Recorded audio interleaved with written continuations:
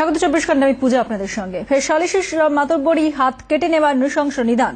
বাধা দিতে গেলে মারপিট গন্ডগোল আহত চারজন রণক্ষেত্র মালদার বৈষ্ণবনগর থানার জৈনপুরের আনিরুদ্দিন টোলা গ্রাম। রণজয় সিংহ আমাদের প্রতিনিধি, আমাদের সঙ্গে রয়েছেন। টেলিফোন লাইনে বিস্তারিত জেনে নেব রণজয়ের কাছ থেকে। রণজয়।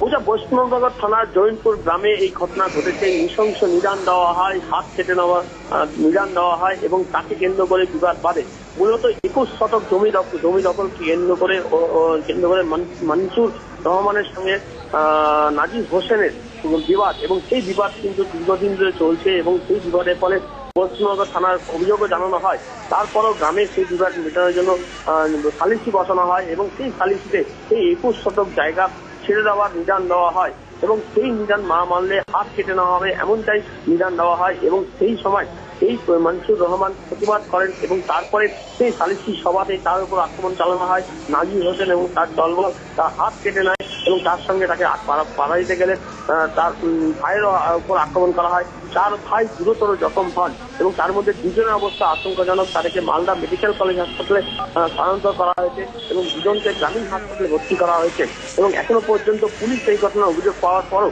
পুলিশ কোনো রকম ব্যবস্থা নেয়নি বলে অভিযোগ এবং ঘটনা ঘিরে এলাকায় উত্তেজনা রয়েছে এবং আতঙ্কে রয়েছে পরিবার।